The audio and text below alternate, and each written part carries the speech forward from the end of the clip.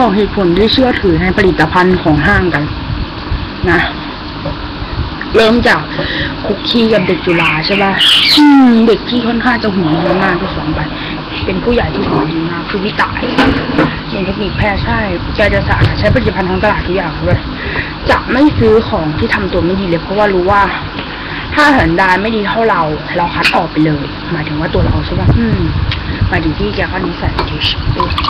อย่างนั้นก็หาเงินให้พ่อแม่ใช่ป่ะอืมแต่เราเป็นคนแบบเงินเดือนหมวมันก็ดีใช่ป่ะเงินเดือนพวกเทคนิคแพทย์นี่เป็นแสนนะบอย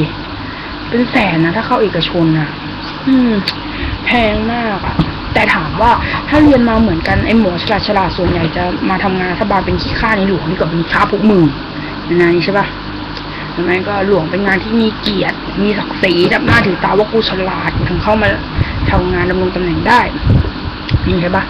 แต่ว่าถ้าไม่อยากนั่งโต๊ะเป็นที่ค่าทั้งชาติจะต้องคิดอะไรที่ไม่เหมือนคนอื่นๆ อยากรู้ป่าว่าบุคลิกด็อกเตอร์เป็นยังไง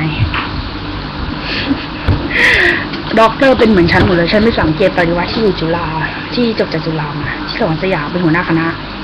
ไปเดี๋ยวเขาคงคิดว่าแอบอ้างวะเนี่ย ไม่ได้โดนฟ้องหรอกมั้งไม่มีอะไรให้ฟ้องหมายถึงว่าแกก็จะคิด ให้ควายสอนควายก็ได้ควายออกมางี้เข้าใจปะงง